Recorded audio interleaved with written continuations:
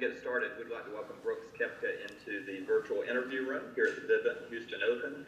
Brooks, you last played this tournament in 2016. Uh, if we can get you to talk a little bit about your role as a player consultant here on our course at Memorial Park. Yeah, it was a lot of fun. Um, you know, Tom obviously, I, I think did a great job with this place. It's um, you know from the moment we kind of sat down at Floridian to kind of discuss some things and um, how what I thought you know would be good in a golf course, and he had his ideas and I had mine, and then combined them, and this is what um, this is what you get. I think it's a very tough golf course. Um, you know, with the rough being the way it is, you, you've got to put the ball in the fairway, and then it's a second shot golf course. You really have to put good strike on the ball, be able to spin it, um, be good with your long irons. There's there's quite a few long holes, um, but at the same time it's it makes it quite fun uh, if you do miss the green because you have so many options. You could putt it, you could bump and run it, you could flop it. Um, it really gives the player a lot of options too if they miss the green. Where um, I, I, feel like you're never you're never quite out of it. Uh, you're making uh, just your second start of the 2020-21 season. Uh, how's your health, first of all, and the state of your game?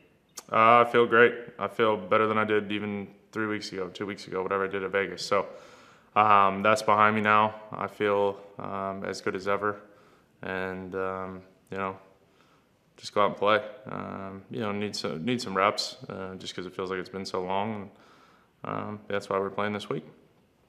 All right, great. We'll remind the media to turn on your video function and unmute your computer uh, when you're called on. We're going to start with Richard Dean with the Houston Chronicle.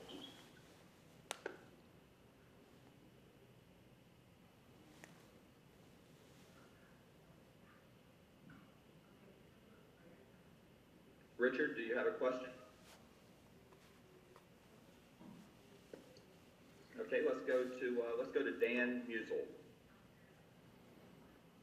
Hey Brooks, uh, you talked a little bit about the redesign. Is there any part of it that now that on site looking at it, you're like, oh wait a minute, that turned out really great. Is there any part that uh, you like better than others?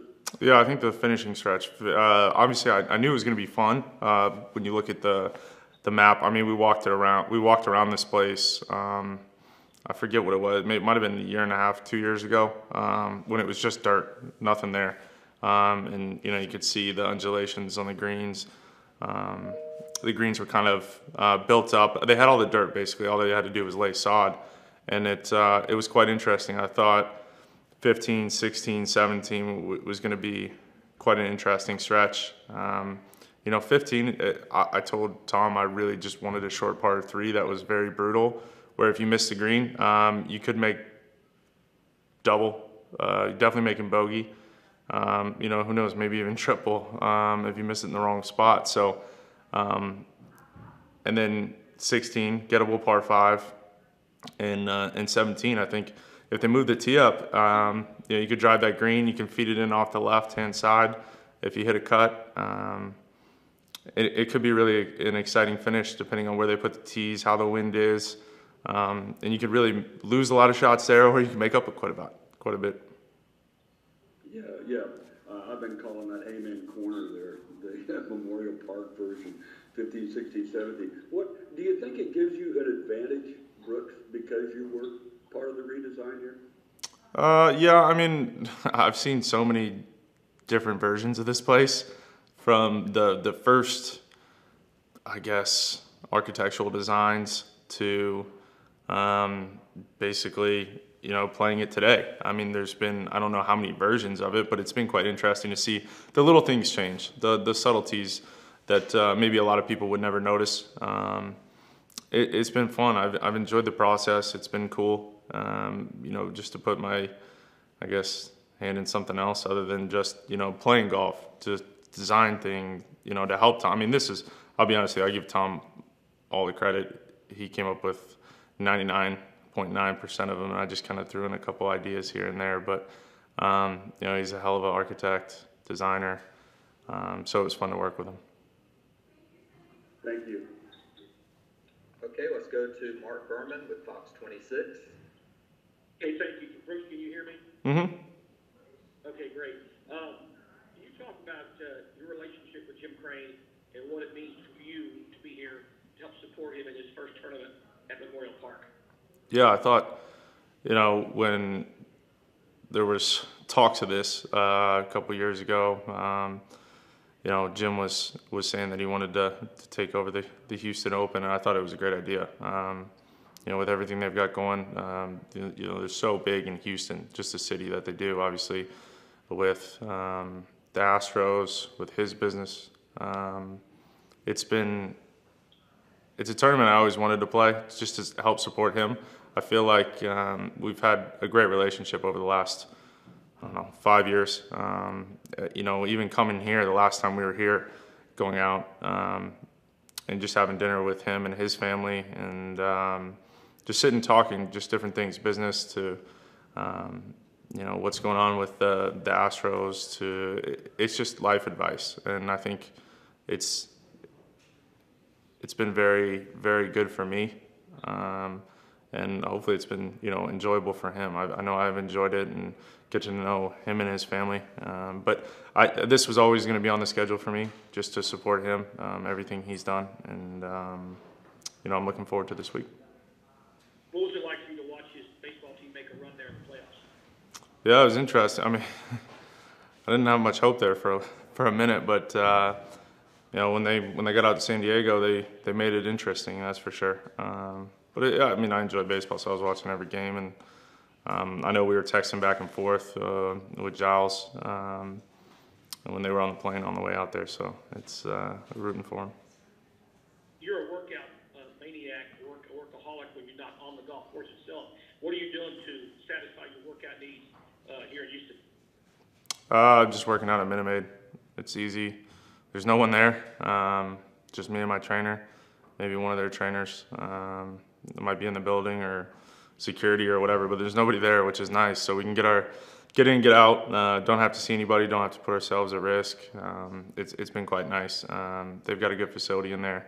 It's perfect for what we need. Uh, you know, it's, it's hard to find places to work out um, when you're on the road because it's not. I know we have um, our trailer that goes around, but I need a little bit more space, more weight, more uh, more room to do to do a lot of things. So it's it's nice to have um, a place where I've gone before. I've worked out there um, multiple times, so it's nice to have a place I'm, I'm comfortable with. Thank you. Okay, let's go to Sean Martin with PGAtour.com. Have you taken any swings at Minute Maid? Any BP? No, I haven't. I should though. I mean, we're in there. I might as well. I don't know how well Derek throws the ball, but uh, it'd be interesting to see. Um, I don't know. It'd be fun. I, I mean, I would. I would love to. I'd love to go take BP. Um, I'll take BP anywhere. We do. We used to do it um, with uh, all my buddies up in Boston, because Boston would start on the Friday, and you get in on Sunday, and we'd go out there and we'd sneak out to there. um, their place at uh, UMass, and we'd go play. There were about twelve of us, um, and that was always a fun week. But your arm would be like hanging from pitching or throwing for for about four. By Friday, you're like, it's just starting to feel better. Uh, did want to ask about architecture. Was that something you were interested in before this opportunity arose? And what was just your favorite part of kind of being part of building a golf course? Um, to be honest with you, I had no aspirations of ever being like I'm, I want to design golf courses, nothing. But then, you know, being asked to do this, I was like, uh, it, it's a really cool idea. Um, obviously, wanted to help Jim Jim out, um, and I think anytime you can play a hand in having some opinion on a course that we're going to play out here, I think it's it's unique. It doesn't happen very often, um, and it, and it's been cool just to see it evolve. Um, I know this golf course is quite difficult.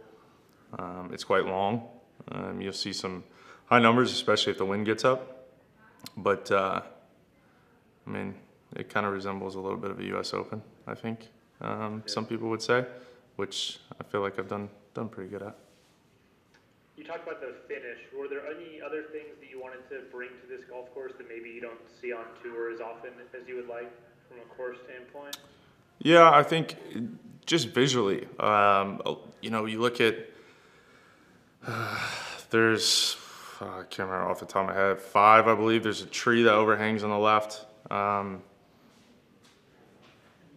it, it's just interesting when you look at this place of how you visually have to look at it from the tee box and then looking back at it from the fairway, the landing spot, trying to, you know, my big thing was I, I didn't like when the, everything is flat. You look at a lot of these par fives, especially in the layup area. There's there might be a little section where it's flat, but you've got a little bit of awkward lies sometimes. Um, you know, if you're going to lay it up, it makes that layup important. You know, especially if you're going to be in the rough, you got to control the jumper, different things like that. And you know, the par threes. I was never a big fan of the par threes. Every par three being over 200 yards. Um, you know, I wanted I wanted a real short one that's very penalizing. Um, one around like 175 and 195. I think that's fair. And then the other one you can just throw, which we got almost at 240. Um, but there's different ways to play that. You know, well, you can run it in if you want. You can fly it on the green. There's there's a whole lot of options. But I think having a variety of par threes is a big thing. Cool, thank you. Okay, uh, we've got time for a few more. Let's go to Dale Robertson with the Houston Chronicle. Hey Brooks, uh, couple things. I remember we, we talked, uh, when you were here after, I guess, getting into the, the redesign. And the thing that struck you, the, the particular fairway view where you kind of caught the downtown skyline. I remember you, you reflected a little on that. It was, that's very unusual on the tour for all the obvious reasons. Uh, yeah, do you, do you remember, do you remember making that observation? Wow, what a, what a cool view. Wait, and which fairway was it? Yeah, I think it's it's really neat. Uh, going off number one, um, you know, your first hole of the tournament, or well, I guess not if you tee off in the back nine, but um, you know, Saturday, Sunday, it, it's a cool view. Looking out there, you get to see the the skyline of Houston. Uh, It's it's unique because we obviously don't play too many events um, this close to you know the downtown area, the the actual city metropolitan area. So um, to have the skyline, I think is it's it's cool. It's unique. It's different for us. Um, it- you know, we don't get to see that, and um, you know, there's it helps. Um, definitely picking out a building and, and trying to hit at it.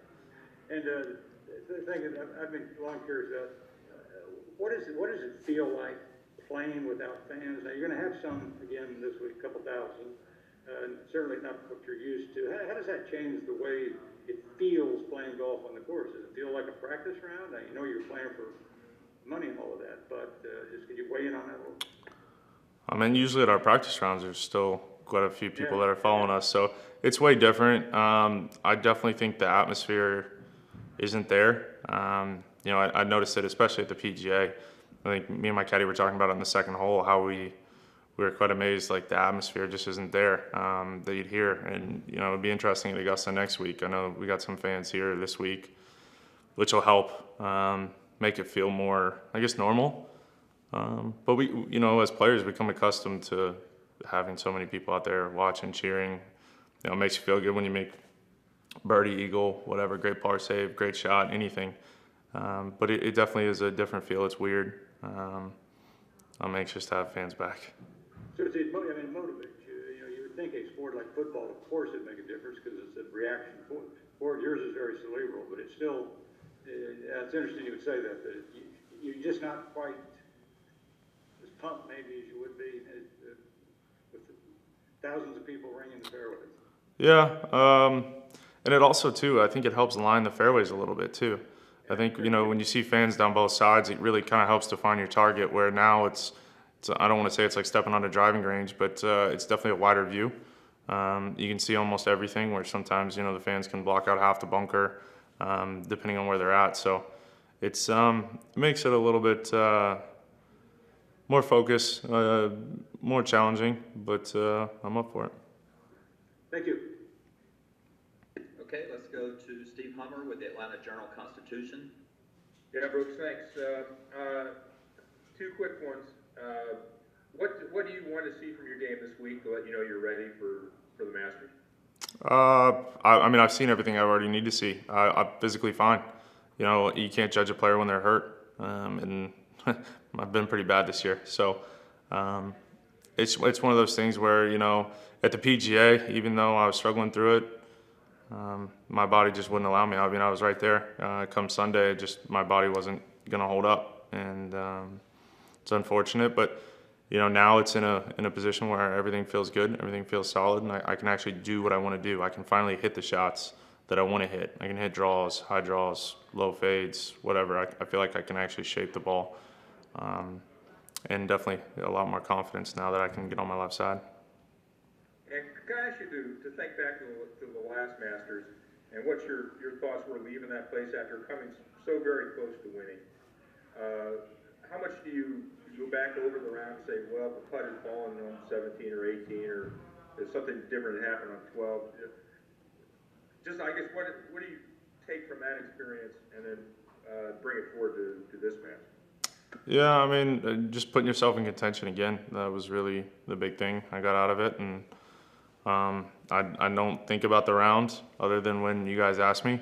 Um, Yeah, it's just one of those things where I feel like you know if I hadn't backed off it on 12, um, said it a million times. I hit a good shot. Just I think we all know that wind swirls quite a bit there, and you know the other big thing is too. I think Tiger made it look a lot closer than it was. You know, it was one shot, but he had a two shot lead coming up the last, and all you got to do is make bogey to win. That's it's a lot easier. Um, and he played it the exact way where he took double out of play, and you know gave himself a look at par, almost made it, and he did everything right. Um, you know, um, 16, leave it on the um, leave it on that shelf was kind of a screw up for me, but um, it is what it is. Um, I played good, and you know, there's some weeks we just get beat.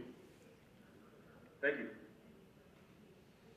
Okay, our last question will be with Tim Schmidt from, uh, Golf Week. Yeah, hey Brooks, I'm sorry we talk so much about the golf course, but I think that it's so fascinating. I was talking to one of the, uh, the tour pros, I'm sorry, one of the uh, teaching pros who said, you know, they pulled, uh, uh, mattresses and bicycles and all these other things out of the creek, I think by two. What's it like to know that a municipal golf course like this, I think you can play for twenty-one dollars during the week or something like that, that you were a part of a project like this that brings a municipal golf course back on the PGA Tour, which is kind of special for kids, you know, that are never going to get to play Augusta and Pebble and other places. Yeah, it's perfect for any fan or anybody that watches, you know, us play uh, the PGA Tour. You know, they can relate. Oh wow, I've been there. I've been there in that exact same spot with pretty much that pin. They know the shot that we're we have in front of us or that we're trying to hit, so they can they feel our pain. I guess sometimes, or they can uh, they can be like, wow, that was a hell of a shot. Um, you know, it's it's much more relatable for the fans, and I think that's what makes it so much fun. And this place obviously has been really affordable uh, to play, which is nice because golf sometimes is um, quite a bit expensive um, for most people. And you know, this driving range, um, I remember how busy this driving range was. Um, that was, you know, it was the only thing that was open when we came for the redesign and things like that. But they were just telling me how busy the driving range is all year, and to make that like a double decker, I thought was pretty, pretty cool, and um, just a way to keep you know people involved in golf in Houston is uh, and to have an impact on that I think is is special. Brooks, always a pleasure. Thank you, appreciate it.